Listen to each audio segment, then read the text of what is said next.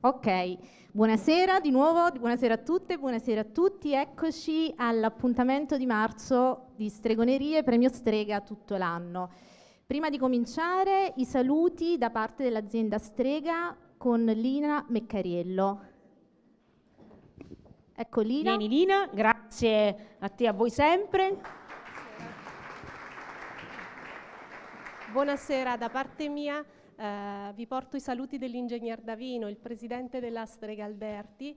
Questa sera per un impegno pregresso eh, non ha potuto partecipare, ma da parte sua, da parte di tutti noi, il ringraziamento. Siete davvero sempre numerosi, eh, sempre così presenti, quindi, quindi, davvero grazie. Non è scontato, non lo era eh, tre anni fa quando eh, con l'idea delle ragazze si è dato il via a, questo, a questa bellissima iniziativa e, mh, mm, e, diamo il benvenuto ai nostri ospiti. Grazie.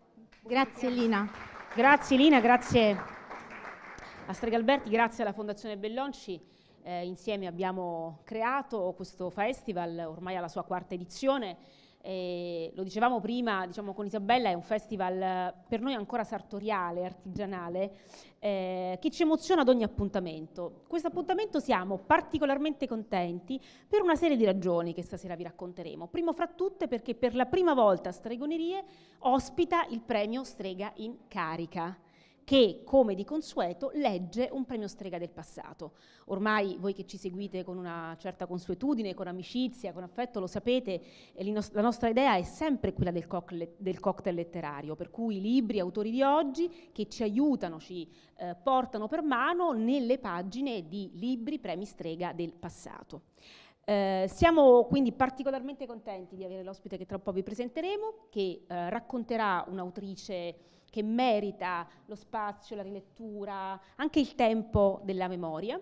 Eh, è uno scrittore di grande talento, amato dal pubblico di tutte le generazioni ed è anche una persona meravigliosa. Ci tengo a dirlo perché non sempre lo sappiamo, le cose coincidono, in questo caso coincidono, quindi siamo ancora più contenti di averlo con noi. Eh, ci tenevo a sottolineare soltanto un messaggio. Voi lo sapete, abbiamo creato un percorso che ha per noi una locuzione molto importante, che è tutto l'anno, premio Strega tutto l'anno.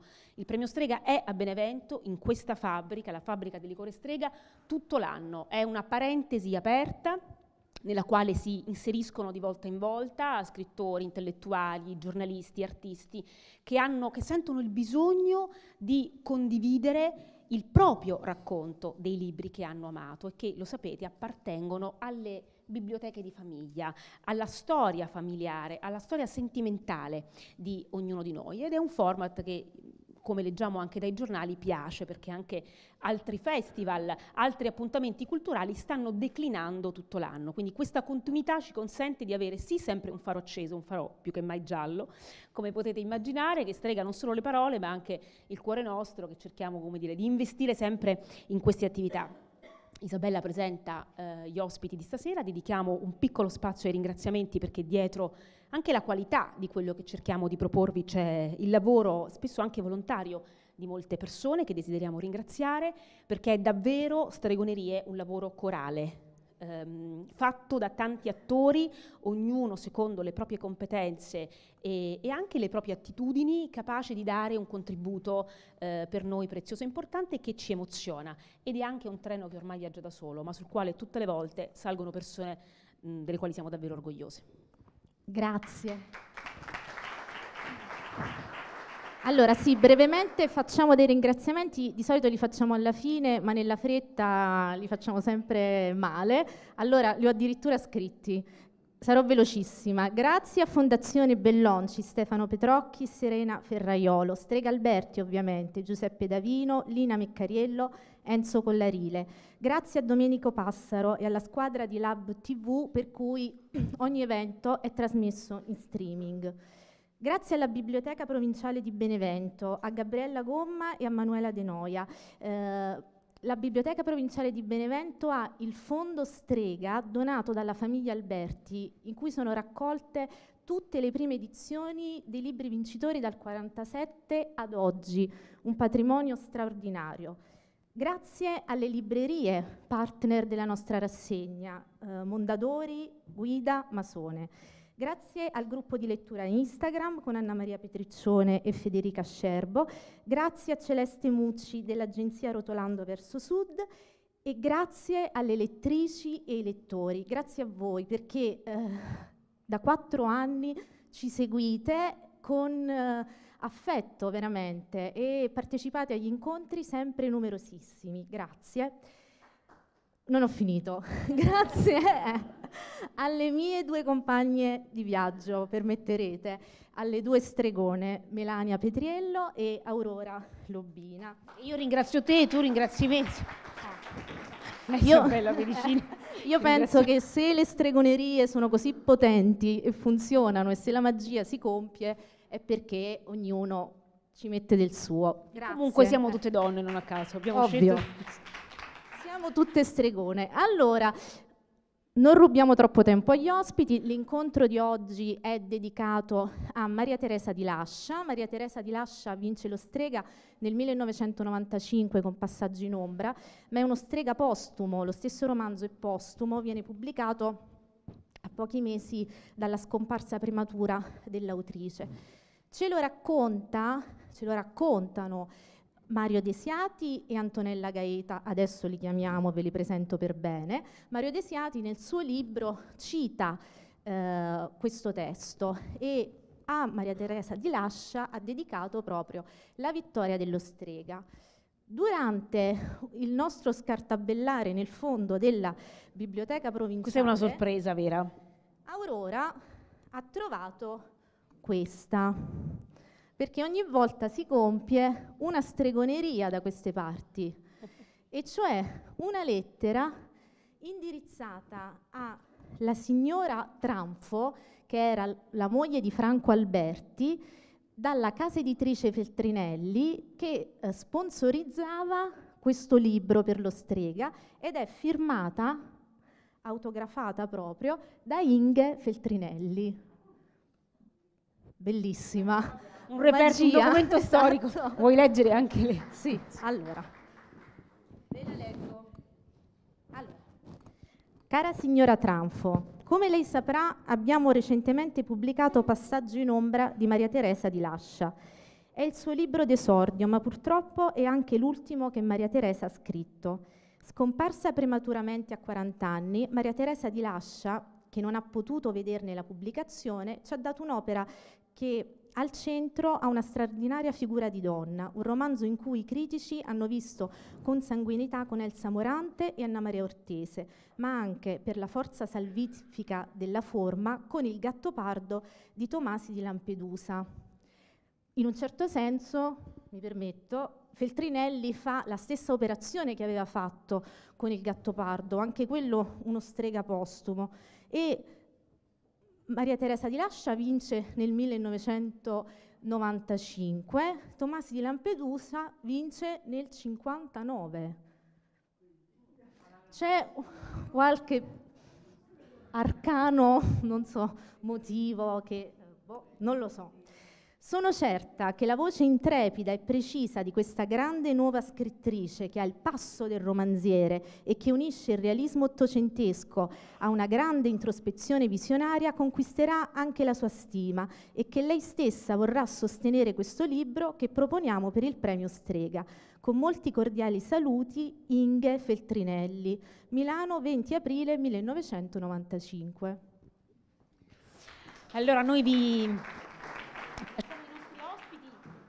sì. una chicca, diciamo così, un, piccolo aneddoto. Voi sapete che alla premiazione di Mario Desiati l'anno scorso, che, uh, alla quale tutti potete partecipare vedendo la diretta di Rai 3, mancava una cosa, cioè il sorso della famosa bottiglia.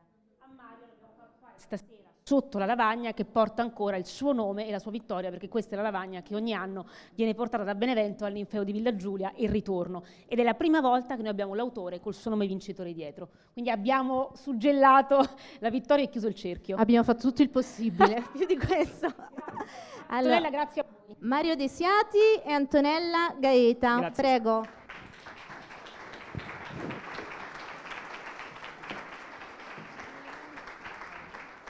Buonasera. Ti metti là, incrociamoci. Buonasera. Eccoci.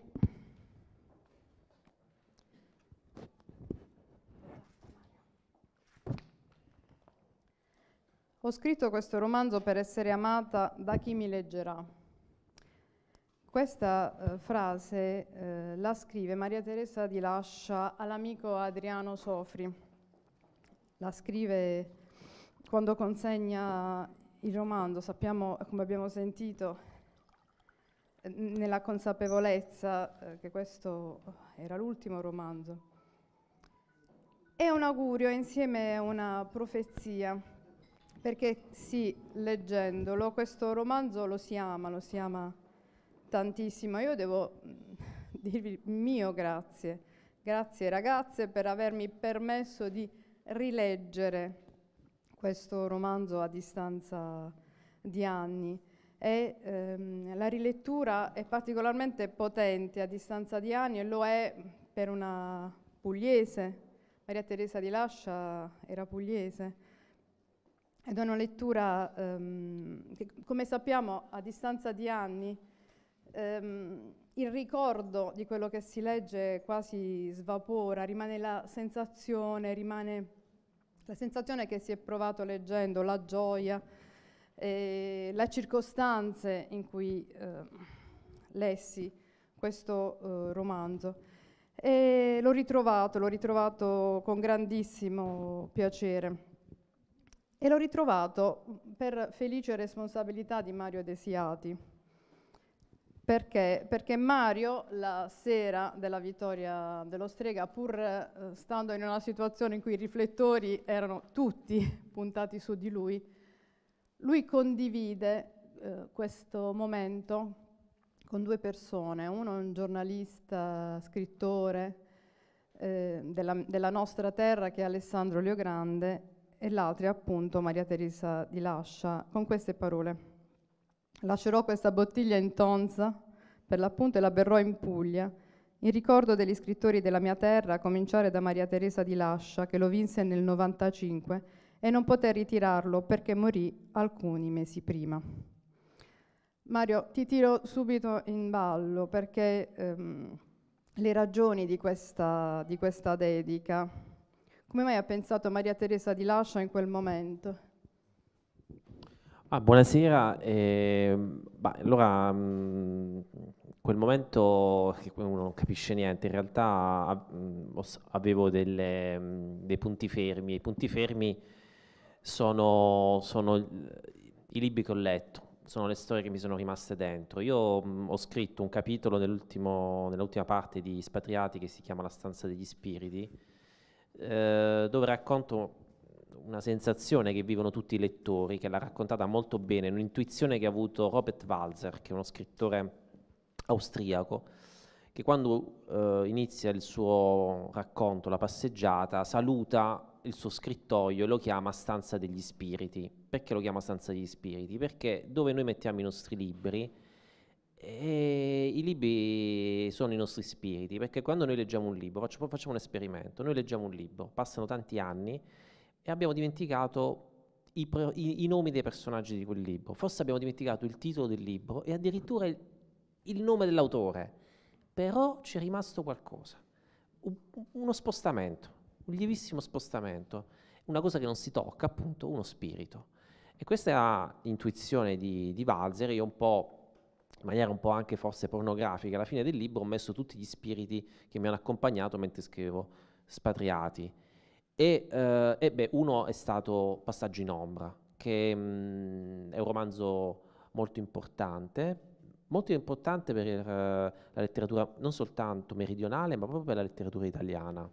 Purtroppo una scrittrice che, di cui noi non potremo leggere quel libro è qualche suo racconto, che è stato raccolto alcuni anni dopo in uh, un'antologia uh, per la casa editrice di Goffredo Fofi, L'asino, è curato da Antonella Soldo, e, um, e che raccontava anche in qualche modo il rapporto fra storia e provincia, ma anche il rapporto fra eh, il racconto, un racconto nuovo dell'introspezione attraverso un metodo di scrittura che anche in maniera molto ironica giocava col feuilleton, giocava col romanzo rosa, ma non era un romanzo rosa, e giocava in maniera più seria, però anche lì senza andare fino in fondo, ma volutamente, col romanzo psicologico. E per me è stato un grande modello Maria Teresa di Lascia. Poi ero anche legato dal punto di vista, eh, vuol dire sentimentale, perché quando mi diplomai al liceo, quell'estate, eh, anzi l'anno prima del diploma, in realtà ci avevano dato da leggere l'estate prima dell'ultimo anno il premio Strega, che era il libro di Maria Teresa di Lascia. Non riuscii a leggerlo per, per l'anno successivo e lo lessi l'estate successiva. Faticai la prima volta, poi l'ho riletto due anni dopo, ero all'università, e diventò il mio libro, uno di quei libri che per tutta la vita continuo a sottolineare. E, ed è un libro che mi ha insegnato anche a, a, guardare a un certo tipo di scrittura molto diversa da quella che mi piaceva all'epoca, perché quando ero giovane mi piacevano soprattutto un po' i cosiddetti I scrittori un po' maledetti, mi piaceva soprattutto la letteratura in traduzione, non leggevo molti scrittori italiani, uh, leggevo molta poesia, la poesia la leggevo anche gli italiani. Maria Teresa di Lascia fu una porta che mi... e quella porta in qualche modo secondo me l'ho vista proprio aperta, specchiata di luce la sera del, del 7 luglio. E faccio, io, faccio anche un passo notevole passo indietro perché stasera vi ho portato proprio due edizioni, questa è quella diciamo, la, della prima lettura, abitavo in paese, queste sono le edizioni che riuscivano a raggiungerci, un po' come Maria Teresa di Lascia, eh, che, che, era originaria di Rocchetta eh, Sant'Antonio. Ma nel 95, quello che vi voglio dire è che Passaggio in ombra era, come dire, il libro must to read, cioè dopo la vittoria allo Strega bisognava leggere questo libro che nel giro di pochissimo, dalla vittoria dello Strega in poi, vende tipo 200.000 copie e diventa eh, celeberrimo. E questa è chiaramente eh, diciamo, la versione più recente, quella che ho utilizzato per leggere. La sensazione eh, fortissima è, è questa, cioè una volta che um, ho finito di leggere questo libro, non avere adesso la sensazione poi di, spesso mi capita di fare presentazioni, di interrogare la scrittrice sul libro stesso e ho pensato che dovevo cavarmela con il libro, con la sua opera, la scrittrice, il corpo della scrittrice era esattamente l'opera stessa. E, ehm, e quanto di più grande in effetti uno scrittore lascia, in un passaggio che per Maria Teresa di Lascia è stato tutt'altro che eh, in ombra. Certo la sensazione, pensate, di non, mh, mm, il suo primo e il, il suo, romanzo d'esordio, di non vedere mai questo libro eh, uscire, e, eh, però non passare in ombra così come la protagonista di questo libro, e cominciamo a inoltrarci si chiama Chiara, Chiara Dauria, e sull'antitesi tra il chiaro e l'ombra si gioca tutto uh, questo, questo romanzo, un principio in cui Chiara sembra destinata a essere luminosa, splendente, e poi come invece a un certo punto del libro si inabissa. Ed è un procedimento ehm, affascinantissimo, una lettura densa, dicevo proprio a Mario, una prosa eh, complessa eh, e anche Mario faceva riferimento a, alla struttura, cioè, e questo era anche nel giudizio di Raffaele La Capria che ne scrisse subito, subito dopo, cioè come questo libro di antitesi contenesse appunto due due eh, romanzi e anche i piani temporali, perché Chiara continuamente ci parla eh, di se stessa al presente, eh, il presente in cui disancorata dalla vita lei si ancora alla memoria e grazie a questo procedimento noi entriamo nel, nel, romanzo. Io direi, Mario, se sei d'accordo, di leggere l'incipit meraviglioso e pluricitato di questo romanzo. Mario. Ah, guarda, io prima sì, dico due parole sull'incipit, no, fa- faccio finta di non sentirti, però in realtà sono presente a me stesso.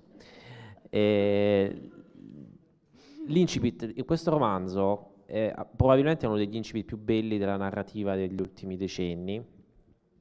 E, e inizia con una caduta, inizia con, con Chiara Dauria, il, il romanzo in prima persona è- è- parte da un presente e poi lei racconta la storia della famiglia con questi continui flashback, poi spesso lei torna a questo stato di, di abbandono in cui lei sta. È una situazione molto... eh, è terribile le prime pagine perché racconta mh, la, la- la vita di una persona che si sta lasciando andare, che si sta abbandonando, che eh, va il venerdì a Foggia, paese, dal paese a Foggia al mercato delle pezze e accumula cose in casa. Non so se vi, ricordate que- quelle trasmissioni che si chiamava Sepolti in casa, terribile quella trasmissione dove c'erano questo reality su queste persone che non buttano nulla e noi incontriamo, incontriamo, incontriamo Chiara che vive in questa casa piena, in lei sta accumulando cose.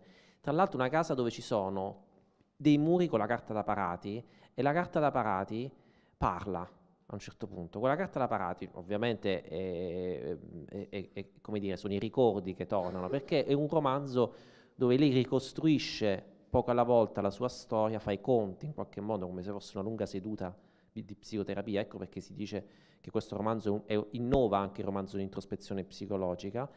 Lei parla anche con questi ricordi, con questi spiriti che in qualche modo la, la chiamano.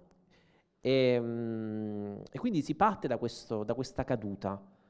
Chiara, con questo nome che è l'ossimoro del titolo, si, eh, pri- nella primissima stesura nel romanzo non doveva chiamarsi Passaggi in ombra, ma doveva esserci proprio Dauria come titolo, cioè doveva esserci la famiglia Dauria, o comunque è stato molto dibattuto, però alla fine è passata l'idea che Passaggi in ombra potesse essere in qualche modo il titolo giusto, sia per lo spirito di Chiara, che attraversa tutto il libro come appunto un'ombra, ma anche forse quello dell'autrice, che quasi qualche, è, appunto è eh, nei mesi in cui il libro tutti ne parlavano di questo romanzo, in qualche modo appunto era un'ombra che stava, che alleggiava su tutti i lettori che non potevano conoscerla dal vivo.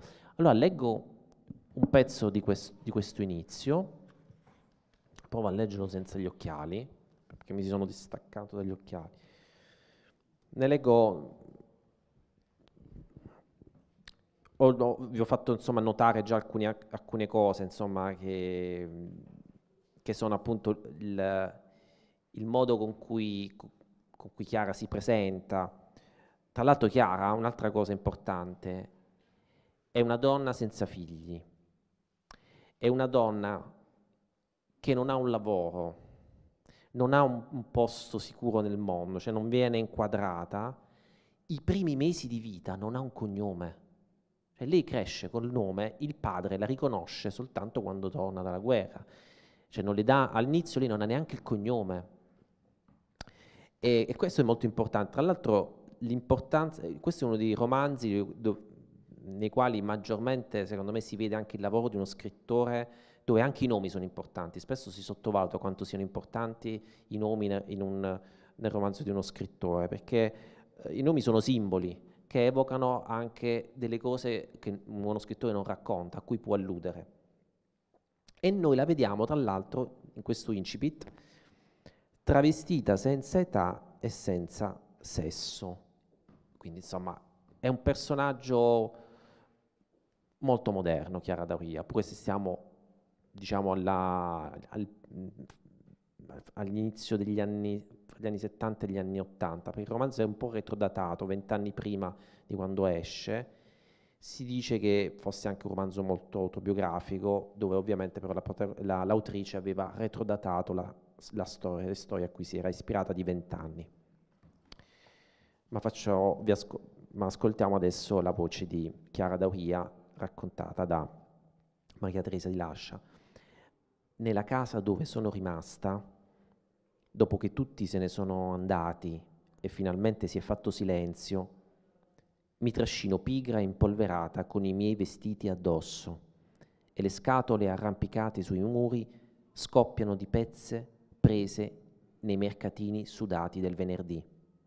Ormai sono libera di non perderne neanche uno e ho tutta la mattina per stare in mezzo alle baracche a rovistare a piene mani fra stoffe colorate e sporche che qualcuno per sempre sconosciuto ha indossato tanto tempo fa.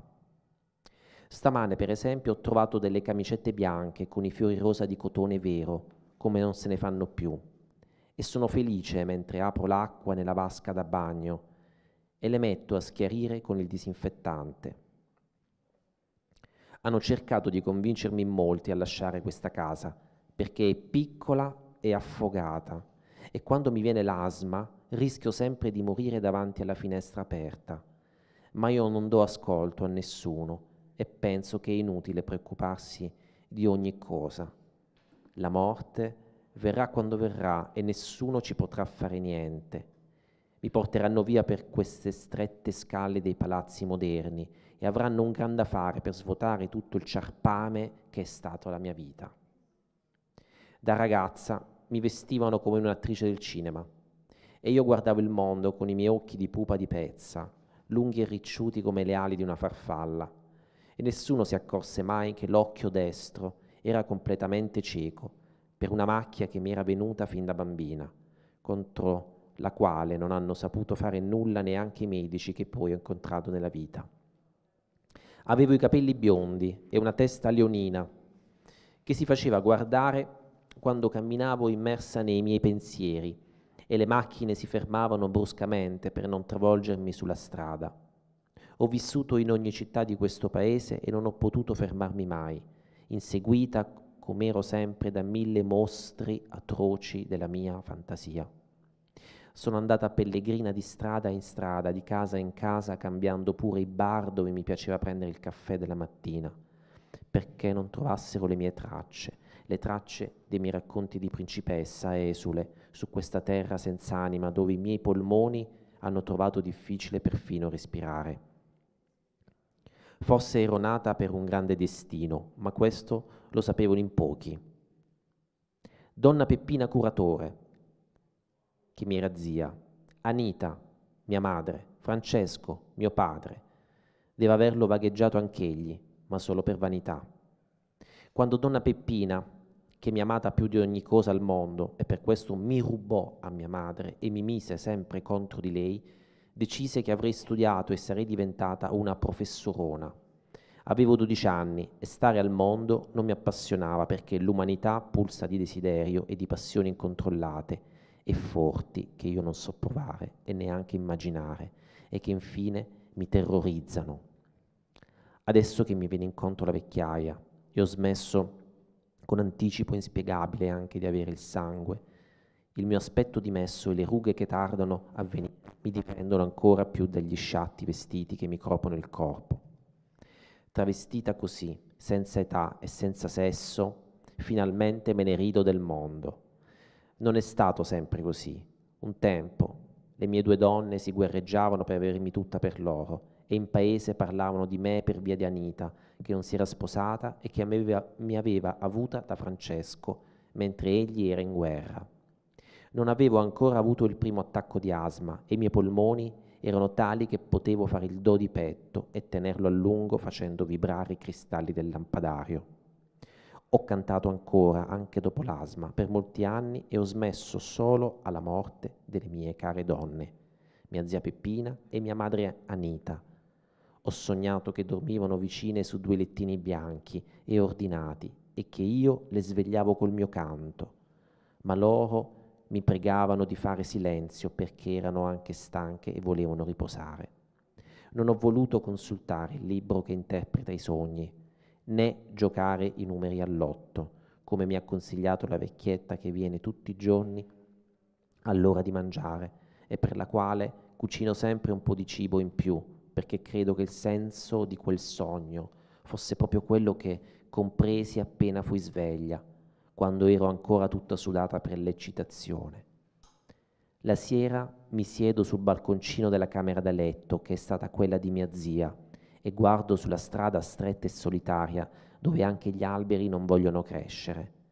Cerco di respirare, di non farmi sorprendere dalle voci e di respingere le presenze che prontamente mi si animano attorno, attratte da un richiamo che origina in me e tuttavia mi è sconosciuto. Infine, quando non c'è più un punto nella stanza e dell'orizzonte dove possa volgere lo sguardo, senza che si facciano incontro con il carico delle loro storie, piango, piango senza passione e senza furore, arresa ai miei ricordi come una cittadella ai propri assalitori. E ci sono tutti, ci sono tutti in questa casa senza aria e senza luce, e io li riconosco uno a uno, anche quelli che non vidi, anche quelli che non vidi mai neppure in una foto, e gli amici degli amici che si sono dati la voce e popolano la carta da parati a fiori beige che ricopre i muri e proiettano la loro ombra come in una grande cinema. Chiara, Chiara mi manda tua zia Peppina. Chiara, Chiara, ho conosciuto tua madre. Chi sono io, Chiara? Mi conosci? Chiara, Chiara, Chiara. Il bisbiglio, il bisbiglio cresce come un concerto di cicale d'agosto, in un attimo occupa tutta la stanza e io divento un fiore, un albero, un filo d'erba, o forse sono solo la nuda terra che hanno calpestato o l'acqua sorgiva che hanno bevuto. Ora, finalmente, torna il tempo delle fantasie e del mio canto di sirena senza coda, ora che le mie due donne hanno lasciato il loro corpo terreno e sanno tutto di me e della mia vita, e io con loro.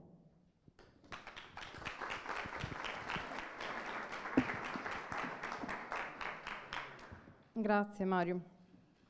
Questo è un bellissimo incipit, come vi dicevo e come avete ascoltato per la bellezza della prosa, ma lo trovo eh, perfetto da che punto di vista lei riesce in queste tre pagine a presentare come, come dire, una, un'ampia presentazione di quello che ci aspetta nel, nel resto del romanzo, perché eh, cita esattamente tutti coloro che saranno i protagonisti di questo romanzo. La, la fine è nota, lei è rimasta sola, le sue donne non ci sono più.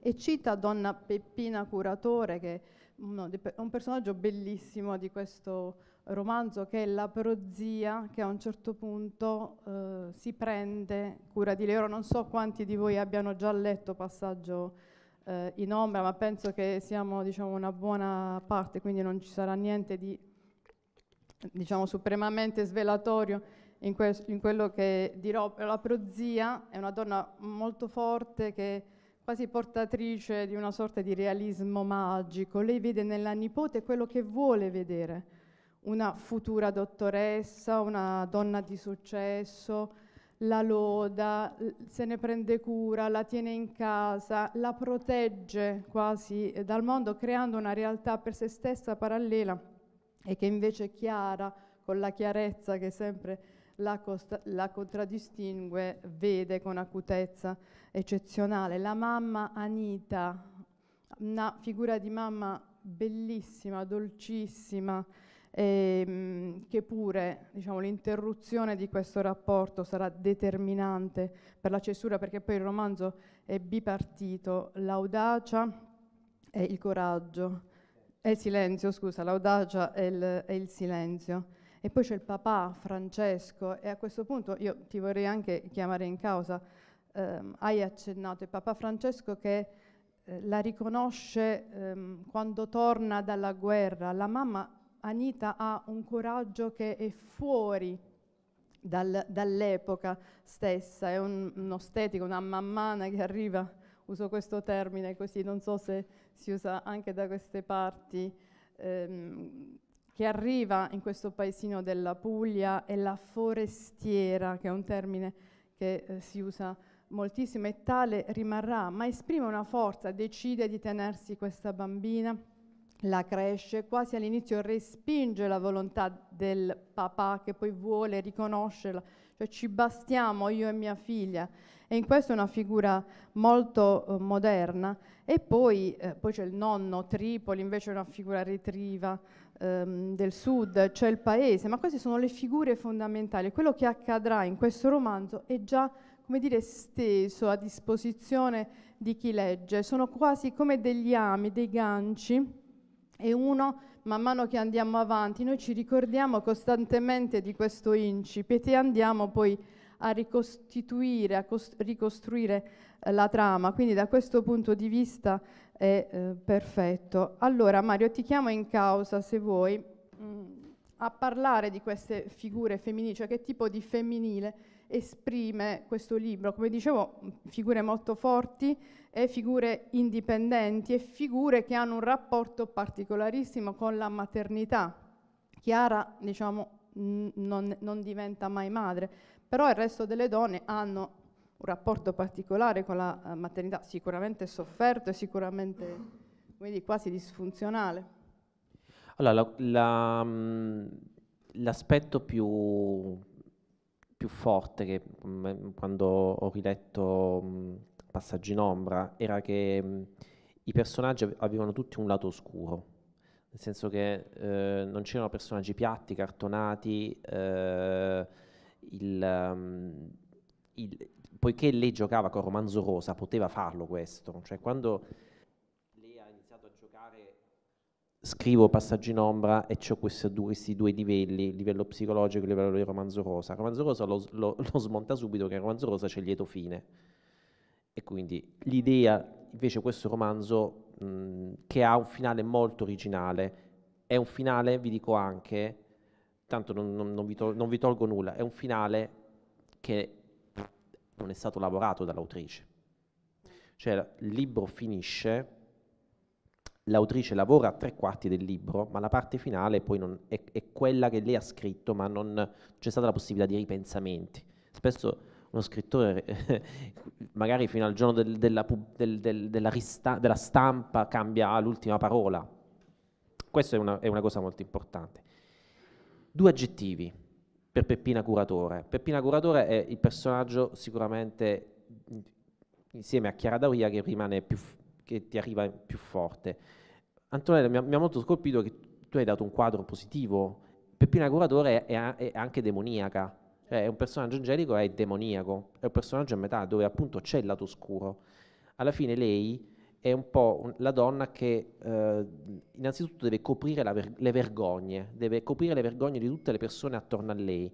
Per esempio Chiara è molto, è, è, è molto avanti rispetto al cugino Saverio, quale lei intreccia questa relazione soprattutto diciamo mh, è, è, più epistolare, più, è, una, è una relazione quasi platonica, però lei deve coprire questa vergogna, deve coprire la vergogna che figlia della mammana, figlia dello, dell'ostetica che è venuta a Rocchetta Sant'Antonio, tra l'altro, apro una piccola parentesi, Rocchetta Sant'Antonio è un paese incredibile, ha un, uno dei, dei, dei, belvederi forse più belli che io, del, della, che io, abbia mai visto, nel senso che è su questa piccola promontorio del su, mh, Pennino d'Auno e si vede questo paesaggio, questo questo marziano. Cioè, voi immaginate Marte com'è? Questo colore ma- un po' rossiccio, un po' marroncino, con questi dolci altipiani, poi ci sono delle pianure, adesso ci sono anche le paleoliche, però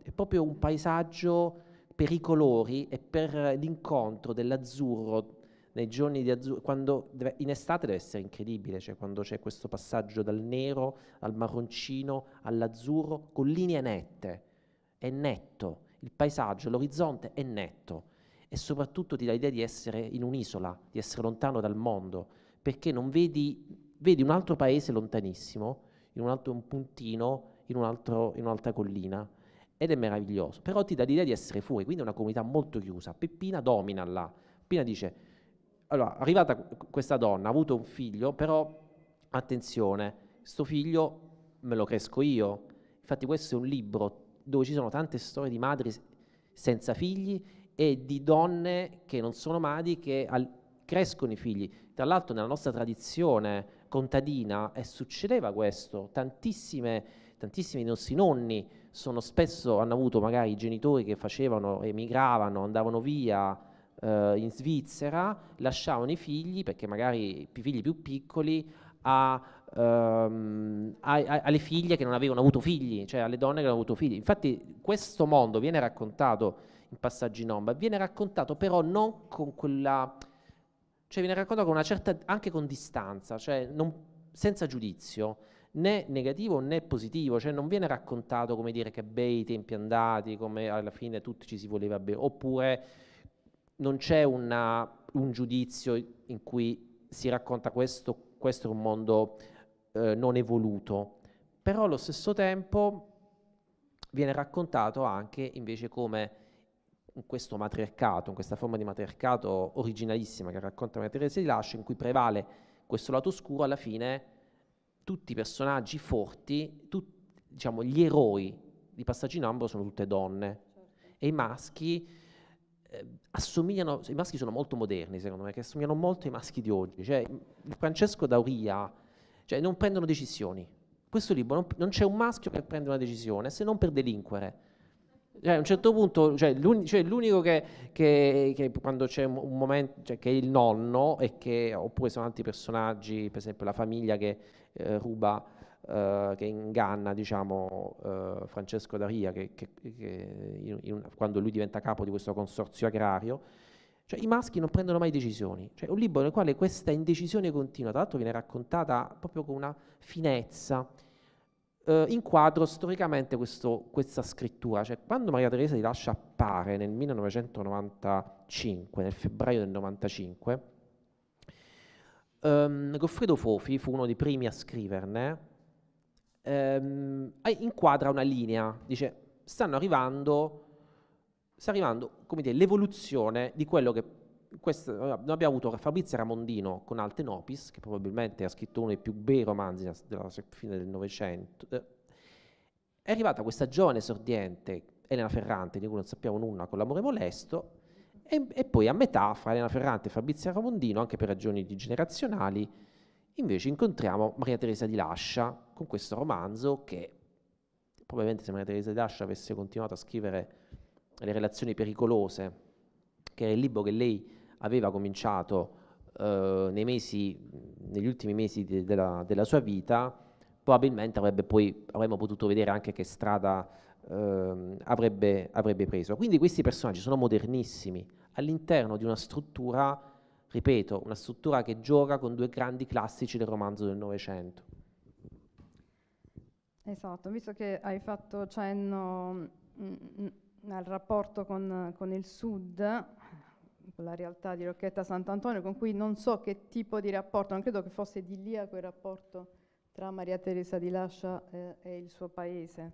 Non so se perché tu hai fatto un Allora, io sono là, stato a Rocchetta, eh. allora mh, racconto una mh, sono successe un sacco di cose quando allora, io credo agli spiriti, credo che, che, poi gli spiriti diventano arrivano come la carta da parati eh, di cui Chiara a un certo punto inizia a parlare. Io sono stato invitato a Rocchetta Sant'Antonio da alcuni amici che eh, lavorano insomma, eh, anche per la memoria di Maria Teresa di Lascia e tra questi Antonella Soldo proprio che è di Rocchetta Sant'Antonio e che ha curato l'unico libro eh, che c'è oggi raccol- dove vengono raccolti testi narrativi e testi politici perché Maria Teresa di Lascia anche e soprattutto era molto nota dal punto di vista politico perché fu fra le fondatrici di Nessuno Tocchi Caino, una figura importante del eh, Partito Radicale Italiano e, ed era anche, è stata anche europarlamentare, quindi insomma era una persona che comunque è molto impegnata in politica.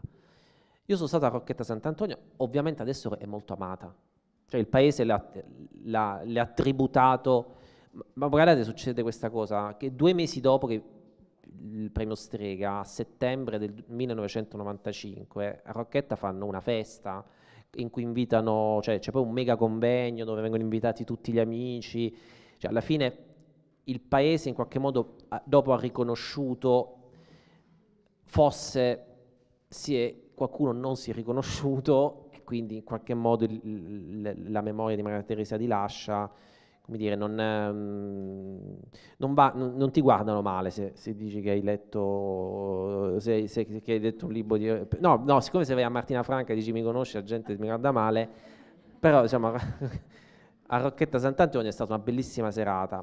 C'erano tante persone che avevano conosciuto Maria Teresa di Lascia, ehm, poi lei era una donna che è andata via subito e comunque aveva subito reciso il cordone ombelicale Dice Claudio Magris, che io cito sempre nelle mie presentazioni, che il mondo, gli scrittori che abitano, po- abitano poeticamente il mondo e invita anche tutti ad abitarlo poeticamente, come si abit- abita poeticamente il mondo, recidendo il cordone ombelicale, perché in qualche modo il cordone ombelicale non è, è, è, è qualcosa che non è che una cosa fisica, nel senso che non è che se noi rimaniamo sempre nello stesso paese non l'abbiamo reciso, noi possiamo anche reciderlo rimanendo nella casa dove siamo nati e cresciuti.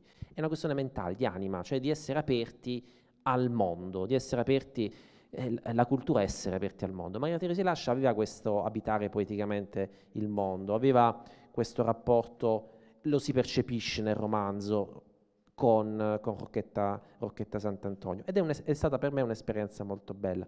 Poi mi piacerebbe raccontarvi la storia di, di, di, anche del, del um, di questo libro, perché è una storia incredibile, nel senso che questo libro qui all'inizio eh, ha avuto una storia simile e, mh, mm, e, mi allaccio a una cosa che diceva prima Isabella quando introduceva ehm, la serata. Lo strega è andato eh, postumo tre volte.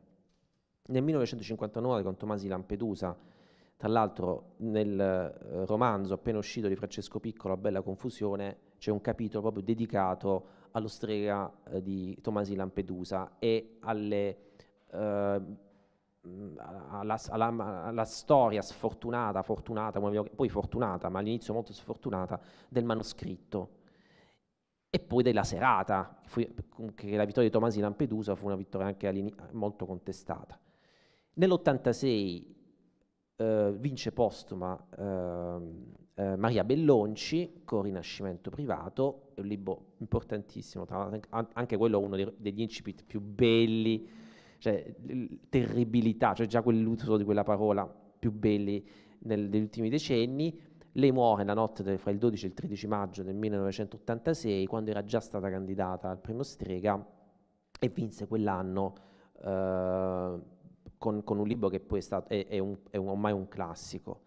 E poi nel 1995 Maria Teresa rilascia. Ma la storia di questo libro è incredibile perché era un libro che all'inizio aveva preso la stessa direzione di Tomasi Lampedusa, cioè questo manoscritto iniziava a girare fra le case editrici, si avvicina Be- Pontigia che, che faceva il consulente, consulente di, di, di Adelphi, Pontigia aveva vinto lo Strega con la Grande Sera, l'edizione più incredibile del primo Strega, quella con Calasso, e lui lavorava con Calasso, immaginatevi che, che cosa è stato. E, e però questo libro non lo fecero né Adelphi e andò, lui lavorava anche, aveva molti amici anche in Feltrinelli, arrivò il libro in Feltrinelli. E Feltrinelli se ne innamorano. E in Feltrinelli il libro viene poi pubblicato ed esce nel febbraio.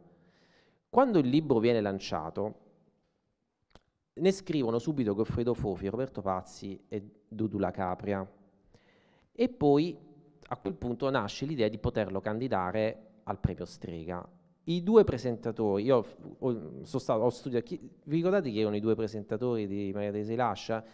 Io, uno era la Capria e l'altro era Tabucchi, Antonio Tabucchi. Però all'epoca non c'erano le presentazioni, non si scriveva la presentazione, si faceva una dichiarazione. Cioè io sostengo questo libro. Oggi adesso per esempio dalla fine degli anni 90 si scrive proprio una, una, una piccola recensione, che è un giudizio che, è, che, accompagna, che, accompagna, il libro. E, um, e arriva allo strega che non è favorita, perché uh, quell'anno... Uh, c'è il romanzo di Malerba. Malerba è un grande scrittore, un grande scrittore che quell'anno però io tra l'altro mi sono, mi sono preso, fa, facciamo, sì, facciamo, facciamo, un po' di gossip editoriale, no? Mi sono preso due, i, i, i, i, votanti, cioè che cosa è successo a giugno alla cinquina e quello che poi è successo alla finale, che è molto curioso, perché io conoscevo tutte le persone che stavano in quella cinquina, le ho conosciute personalmente tutte tranne Maria Teresa e, ehm, e praticamente partecipano a quell'edizione diversi scrittori, tra cui uno dei miei preferiti, che non era un narratore, era soprattutto un poeta che è Dario Bellezza, tra l'altro ehm, ho citato molto anche in, nel, nel, nell'ultimo romanzo. Partecipa Luigi Malerba, Luigi Malerba con Mondadori è il grande favorito ed è la Mondadori che è appena passata a Berlusconi, quindi in quel momento c'era un momento anche di... era, proprio, era diventato uno strega politico quello del 95. Poi c'era Luca Canali con Longanesi, aveva un romanzo con Longanesi, Elisabetta Rasì che pubblicava con Rizzoli e Marisa Volpi, eh, che qui adesso non ricordo con quale editore, però c'era Marisa Volpi anche. Alla prima votazione a Casa Bellonci, Casa Bellonci al, fino al 2013 si, vot, si votava mh, al quinto piano a via Fratelli Ruspoli 2 a Roma, che è, è, è, una, è l'appartamento dove è sede della Fondazione Bellonci.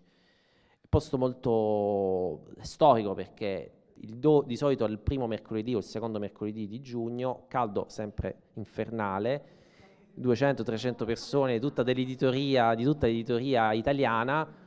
Vi dico anche la battuta che si faceva sempre, eh, io lo frequento dal 2002, quella, perché io lavoro, quando lavoravo anch'io, ero uno, quando lavoravo prima in Mondadori e poi per altre case editrici, c'era sempre questa battuta, siccome venivano tutti i funzionari editoriali, tutti gli scrittori dell'area romana, tutte le persone che lavoravano insomma, nel, nel, nelle pagine culturali, tutti i votanti o comunque gli amici della domenica, diceva un missile qui e c'è la rigenerazione della cultura italiana perché muoiono tutti, perché stavano... Quindi c'era sempre qualcuno che dice, faceva sempre questa battuta, c'era sempre il momento della battuta del missile, che non fa ridere, però io rido che sono stupido eh, a me faceva, faceva sorridere. Quindi quella sera c'è la votazione e tutti si aspettano un Malerba che va avanti e invece vi dico, vi dico i voti da sopra a sotto, anzi da sotto a sopra, entra per un voto Malerba con 41, quinto, quindi Malerba quinto. Poi nel, in un fazzoletto di due voti Canali e Volpi con 56, Elisabetta Rasi 57 e Maria Teresa li lascia 58, quindi sorprendentemente la lascia per due voti, per un voto e sopra tutti, ma stanno tutti dentro due voti, quindi è pazzesco. Quindi la serata del, dell'Infeo sarà una bolgia perché si, cioè, nessuno sa chi può vincere, perché eh, poteva, e quindi sarà una sfida fra Malerba, si dice, tutti pensano che sarà Malerba, anche se è entrato per un pelo, e, e Maria Teresa di Lascia, perché in qualche modo è, quel voto di differenza fa sì che come dire, molti amici da domenica decidono di, com- di convergere sulla di Lascia, quindi su un candidato anti, anti-Mondadori, anti-Malerba. E invece chi per, per, Malerba, che aveva magari votato per editori più piccoli che non erano arrivati nella cinquina, decide di votare Malerba. E alla fine vincerà Maria Teresa di Lascia nella notte del 5 luglio con 195 voti contro i 142 di Luigi Malerba che era uno scrittore che io, tra l'altro, io, il suo romanzo Il Serpente, che non è quello con cui partecipa lo Strega, perché quello che partecipa lo Strega mi pare che fosse Ritorno a Iteca, non voglio dire una fesseria. Il Serpente per me è uno dei miei libri che ho amato di più, però Luigi Malerba fu molto duro, fece proprio una... Cioè, fu, un, fu, un, periodo non, come quello che succede sempre quando ci sono i primi strega, ci sono le polemiche, ci si, scri- ci si scanna, ci si scrive, e anche il bello del premio Strega che è un gioco cioè un gioco dove gli scrittori in qualche modo si uh, partecipano, uh, hanno scritto il loro libro, ma poi in qualche modo fanno par- fa parte insomma, dello spirito di questo, di questo premio. Quella sera, eh, purtroppo Maria Teresa Lascia non poté ritirare il premio, però la fortuna fu che questo, questo libro è stato poi davvero amato dal lettore, perché perché hanno sentito la novità, hanno sentito l'odore che questo è un romanzo nuovo, cioè un romanzo dove i personaggi che venivano raccontati, il mondo che viene raccontato, il modo con cui viene raccontato, il, il tipo di scrittura, la struttura. Calvino diceva sempre una cosa, i romanzi sono tre cose sostanzialmente, il linguaggio, la struttura e la novità. Hanno una cosa nuova che non è stata mai scritta. E queste, tutte queste tre cose, ovviamente, in passaggi in ombra si trovano, sono le cose che ho provato a raccontarvi. La struttura è quella che vi ho detto, romanzo psicologico, romanzo rosa, ma anche l'idea di chiamarlo, di dividere, spaccare in due il libro, da una parte l'audacia, la parte, la parte in cui succedono le cose, e poi la seconda parte il silenzio, dove quelle cose vengono elaborate, perché poi, ecco, la psicologia? Che cos'è l'elaborazione? Cioè che quando noi una cosa si dice devi elaborarla, cioè subisci, finisce un amore, muore una persona, cambi casa, perdi il lavoro, devi elaborare questa ferita, no? Cos'è elaborare? Elaborare è come masticare un cibo, digerirlo e poi tirarlo fuori. E questa è una cosa che tu devi fare da solo, non c'è uno che digerisce il cibo per te. E il silenzio, bellissimo il silenzio, la seconda parte del libro, che è la parte più tosta anche di Passaggi in Ombra, nel silenzio avviene questa, questa digestione. E cambia anche la scrittura, se poi quando lo leggete noterete che cambia, diventa più, diventa anche un po' volutamente da un lato, dall'altro lato perché paga il fatto che lei fino alle ultime pagine non ci ha lavorato, più farraginosa, ma volutamente a un certo punto, cioè proprio perché quel dolore che, ha, che la protagonista ha vissuto da ragazza viene elaborato, viene ra- riraccontato, se lo rivede continuamente per cercare in qualche modo di salvarsi. Poi si salva o non si salva, questo lo scopriremo alla fine del libro.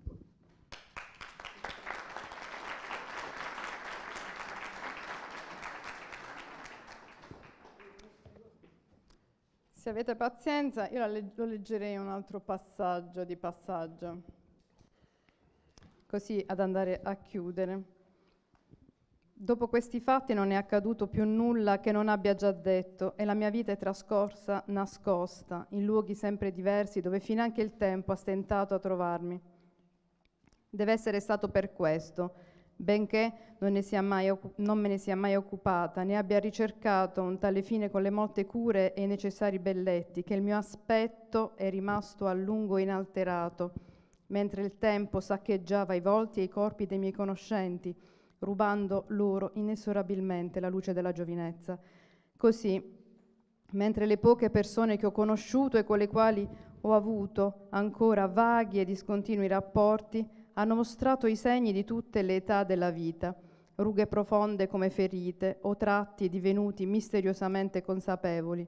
Io sola non ho avuto età intermedie e sono stata un'assurda giovinetta che un giorno precipitò nelle forme della vecchiezza. Di questa mia fissità senza tempo, piuttosto simile alla rigidezza dei corpi imbalsamati che la giovinezza imperitura degli dei, l'unica che avendola scambiata per un segno di quel luminoso destino che mi apparteneva, ne godette irragionevolmente fu donna Peppina Curatore. Ella mi attendeva ogni estate nella sua casa con gli occhi lucenti di ammirazione. Chiunque mi avesse osservata con uno sguardo diverso dal suo, privo cioè di quell'amore spropositato e fanatico che la ebbe per me, avrebbe dubitato della mia immutabilità come si dubita della vita in una farfalla trafitta da uno spillo o di un morbo o di un processo mortale che si sia impossessato di qualcuno e lo tenga lungamente prigioniero in quello stato sonnambolo che appartiene alla morte.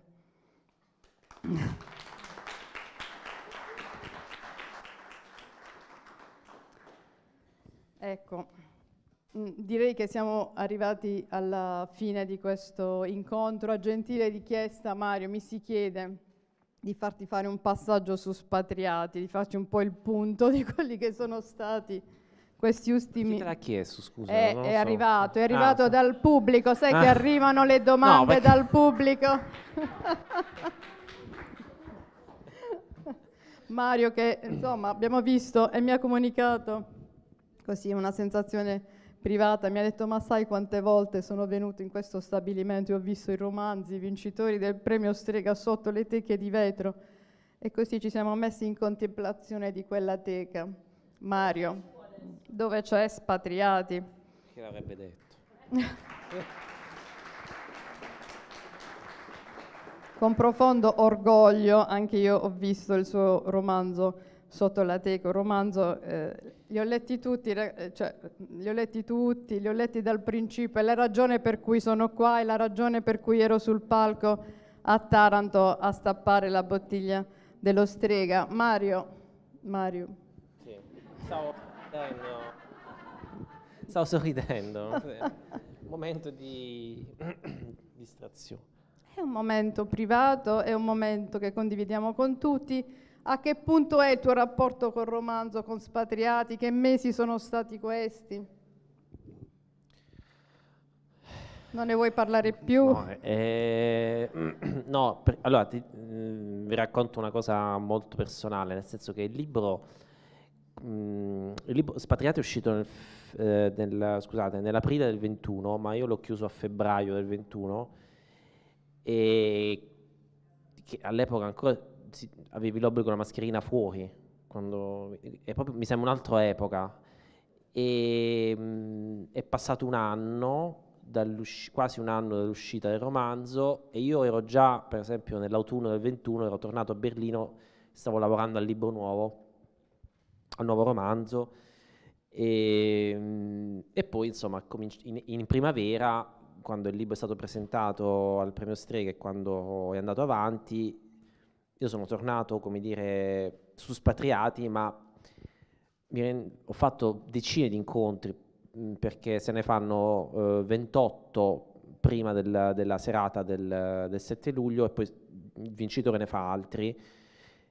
E, mh, e io, per me era parlare di Spatriati era difficilissimo, perché per me era un libro che apparteneva, l'avevo scritto fra il 2016 e il 2021, quindi a un certo punto ho cominciato a parlare del libro nuovo senza dirlo, visto che funzionava benissimo, perché io facevo dei ragionamenti su, partendo dai personaggi spatriati, perché poi in qualche modo è legato un po' al libro, non c'entra niente, non ci sono i personaggi, però è, diciamo, nasce da, forse nasce da quella stanza degli spiriti dell'ultimo capitolo del nuovo romanzo su cui sto, sto lavorando, da, da, questa, uh, da questo racconto, con questo dialogo, queste conversazioni con le ombre che ognuno di noi coltiva in modo diverso che possono essere delle psicoterapie, ma possono essere gli studi della memoria della propria famiglia, che possono essere la ricerca di qualcosa che non ci torna, eccetera, eccetera.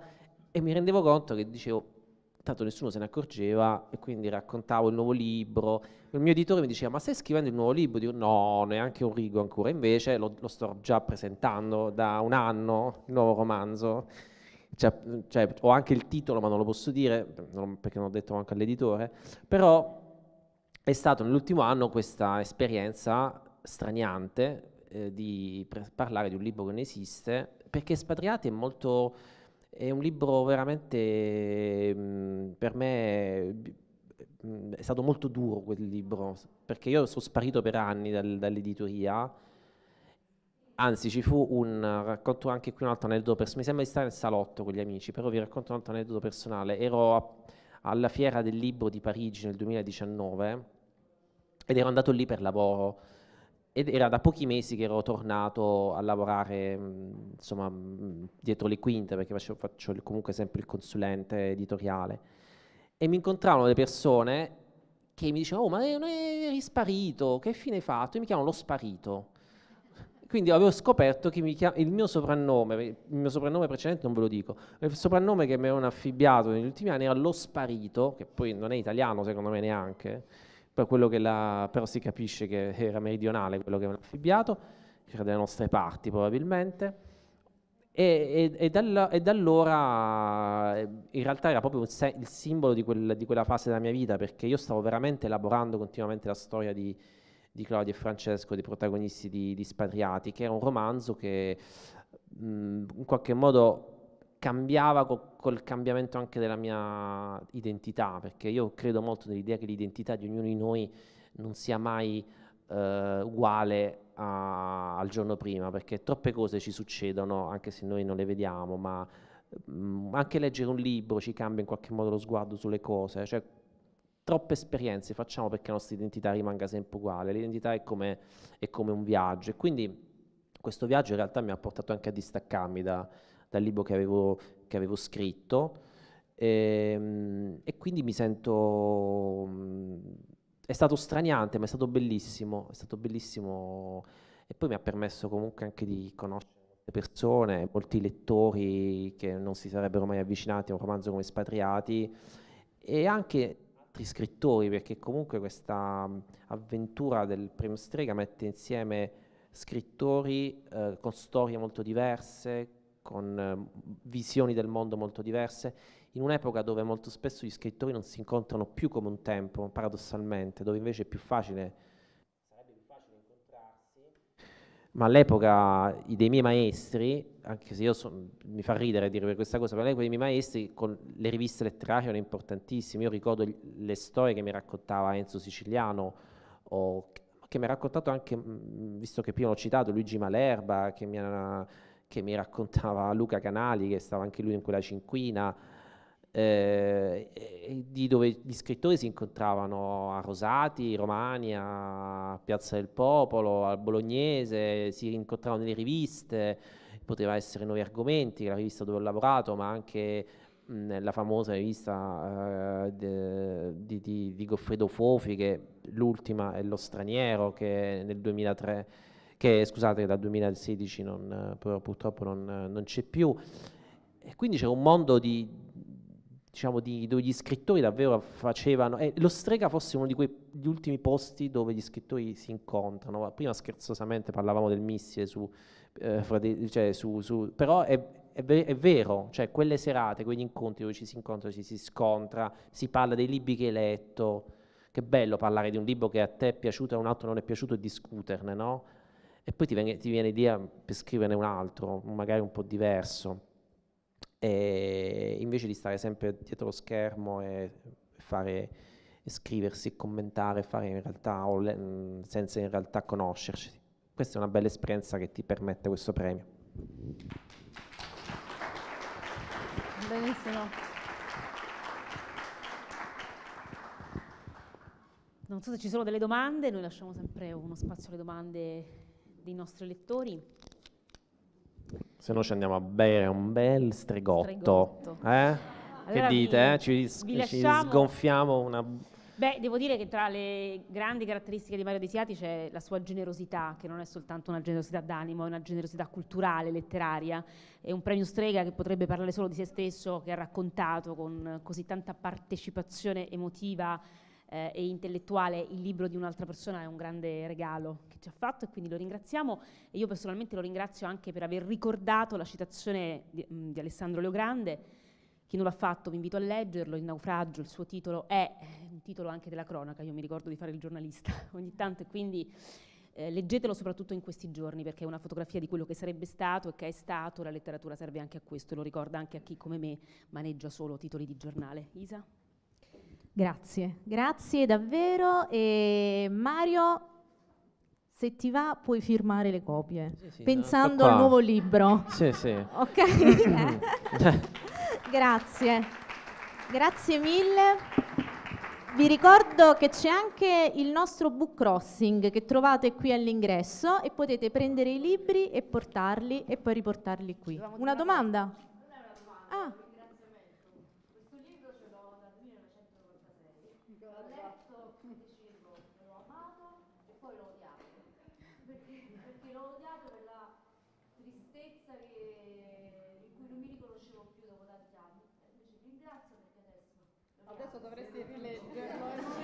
Grazie. Volevamo solo dire una cosa, perché qualcuno ce l'ha chiesto, l'appuntamento di aprile ci sarà, come al solito ne sveliamo una alla volta, possiamo anticiparvi che sarà dedicato a Pietro Citati. In omaggio, Tolstoi, sì. Grazie. Ferratissimo. Eh, grazie. Grazie Antonella, grazie.